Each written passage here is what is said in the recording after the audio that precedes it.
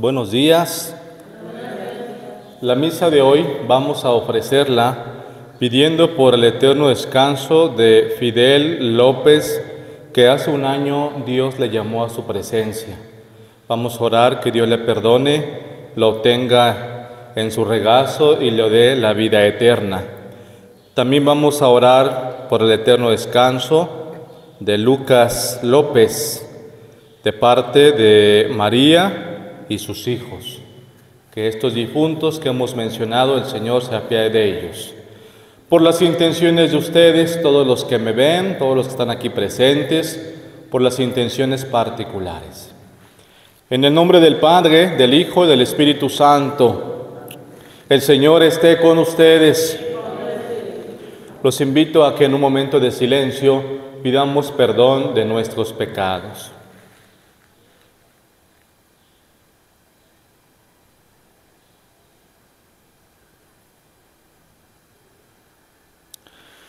Juntos digamos, yo confieso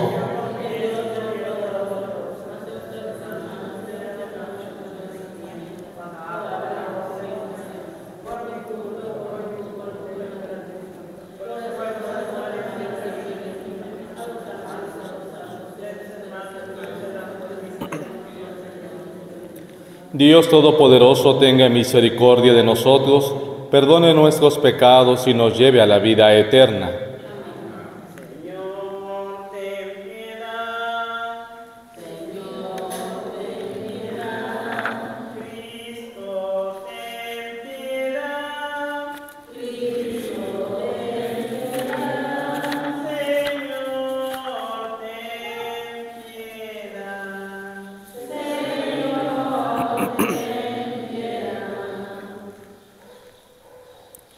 Oremos.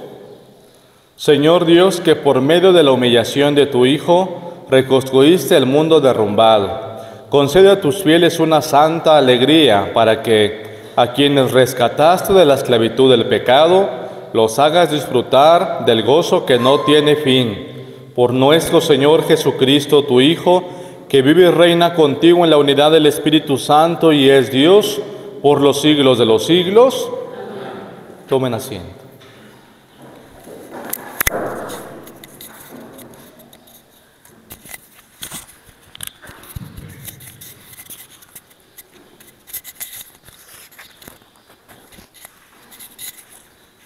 Lectura del libro del Éxodo. En aquellos días, Moisés hizo todo lo que el Señor le había ordenado. El día primero del primer mes del año segundo, se construyó el santuario. Moisés lo construyó, colocó los pedestales y los tableros, puso los travesaños y levantó las columnas. Después desplegó la tienda por encima del santuario y sobre ella puso además un toldo, como el Señor se lo había ordenado.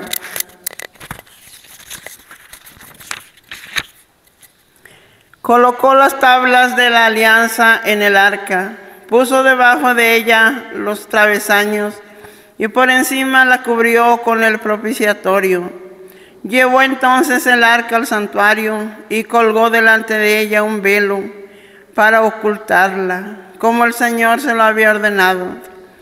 Entonces la nube cubrió la tienda de la reunión y la gloria del Señor llenó el santuario. Moisés no podía entrar en la tienda de la reunión, pues la nube se había posado sobre ella y la gloria del Señor llenaba el santuario. Y en todas las etapas, cuando la nube se quitaba de encima del santuario, los hijos de Israel levantaban el campamento y cuando la nube no se quitaba, se quedaban en el mismo sitio. Durante el día, la nube del Señor se posaba sobre el santuario y durante la noche había un fuego que podían ver todos los israelitas desde sus tiendas. Palabra de Dios. Qué agradable, Señor, es tu morada. Qué agradable, Señor, es tu morada. Anhelando los atrios del Señor, se consume mi alma, todo mi ser de gozo se estremece, y el Dios vivo es la causa. Qué agradable, Señor, es tu morada. Hasta el gorrión encuentra casa y la golondrina un lugar para su nido. Cerca de tus altares, Señor de los ejércitos, Dios mío. Qué agradable, Señor, es tu morada. Dichosos los que viven en tu casa, te alabarán para siempre. Dichosos los que encuentran en ti su fuerza, pues caminarán cada vez más con más vigor. Qué agradable, Señor. Pues un día en tus atrios vale más que mil fuera de ellos, y yo prefiero de la casa de mi Dios al lujoso palacio del perverso. Qué agradable, Señor,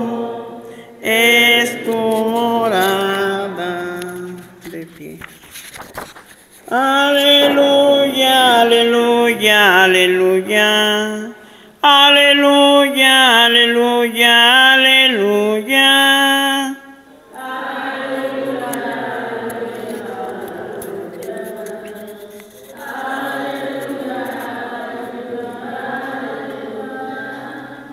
Abre, Señor, nuestros corazones para que comprendamos las palabras de tu Hijo. Aleluya, aleluya, aleluya.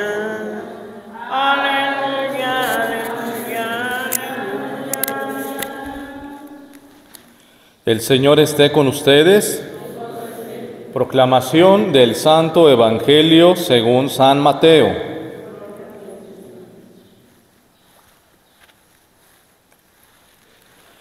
En aquel tiempo Jesús dijo a la multitud, el reino de los cielos se parece también a la red que los pescadores echan en el mar y recoge toda clase de peces. Cuando se llena la red, los pescadores la sacan a la playa y se sientan a escoger los pescados. Ponen los buenos en canastos y tiran los malos. Lo mismo sucederá el fin de los tiempos. Vendrán los ángeles Separarán a los malos de los buenos y los arrojarán al horno encendido. Allí será el llanto y la desesperación. ¿Han entendido todo esto? Ellos le contestaron sí.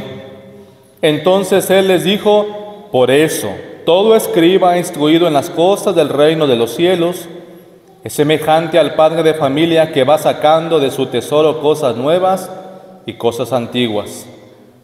Y cuando acabó de decir estas parábolas, Jesús se marchó de allí. Palabra del Señor. Tomen asiento.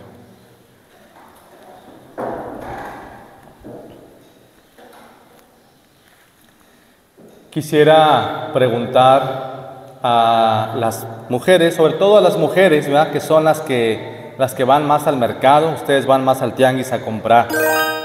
¿Cómo le hacen ustedes para ver que un jitomate o un aguacate ya está bueno? ¿Cómo le hacen? ¿Qué ven? ¿En qué se dan cuenta? Lo tocan, ¿no? Tocan el aguacate. ¿Y qué más? ¿Nomás en el, en el tocar? ¿En qué más?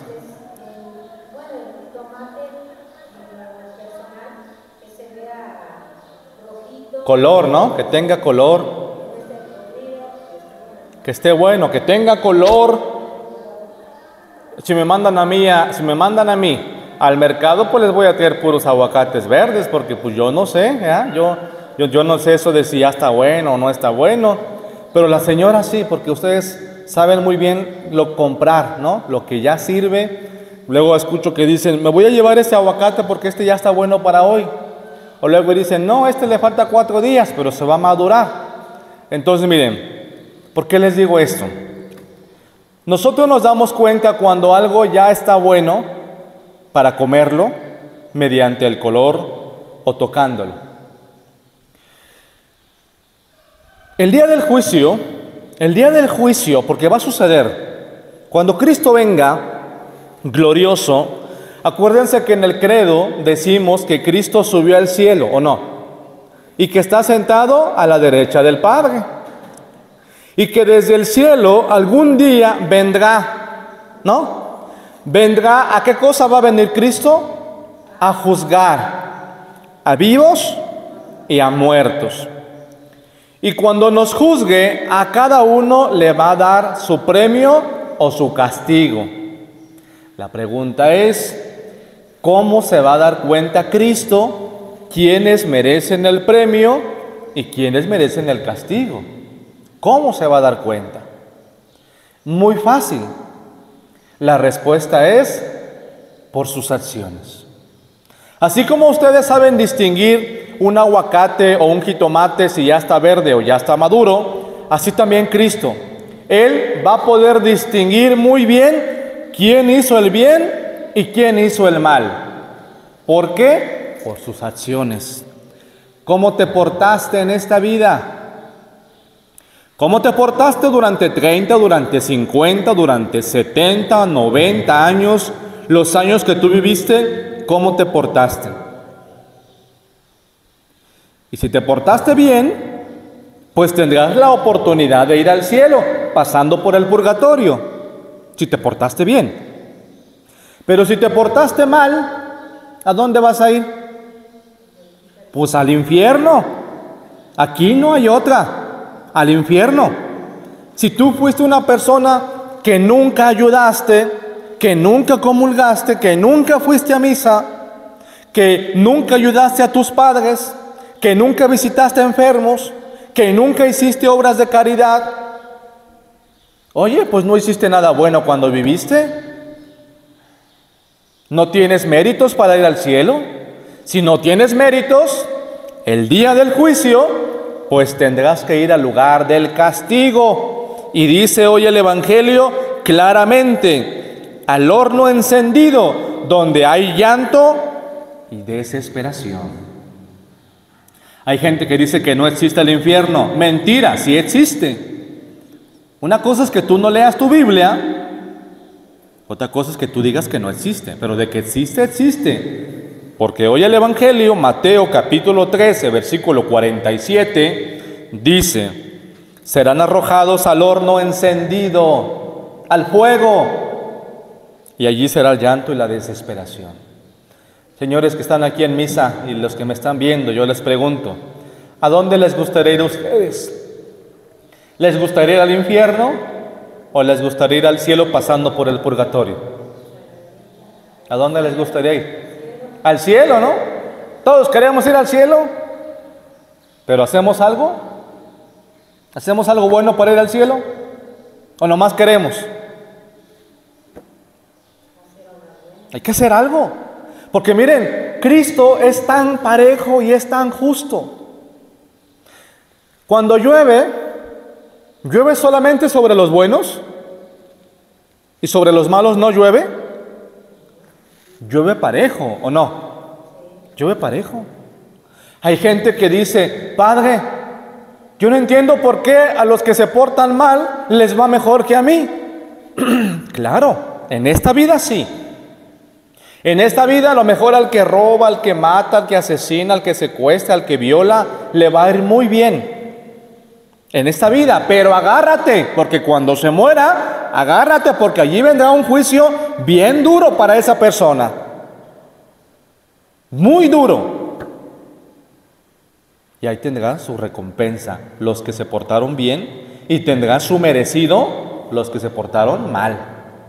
Y a veces se nos olvida que algún día le vamos a dar cuentas a Dios. Se nos olvida. Y por eso vivimos como vivimos. Por eso la gente vive así.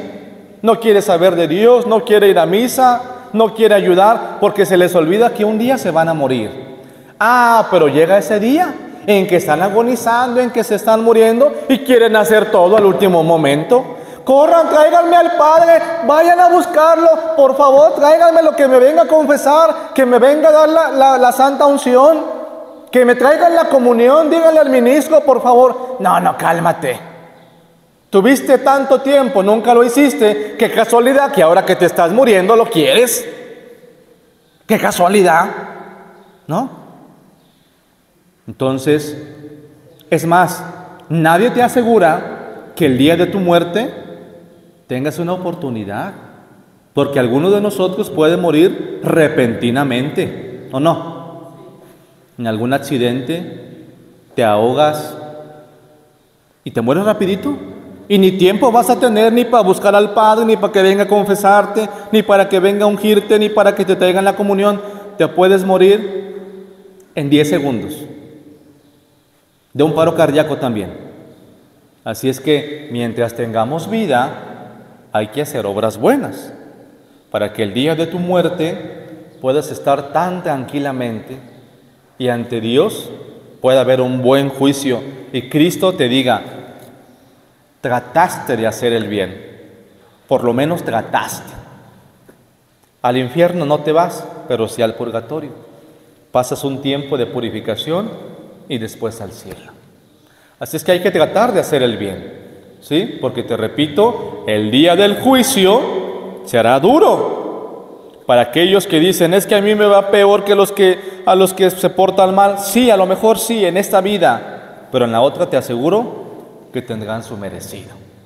Que Dios nos conceda a todos portarnos bien, pedir por nuestros difuntos y a cada uno el Señor, de acuerdo a sus obras, le conceda o la vida eterna o el eterno castigo. Que así sea.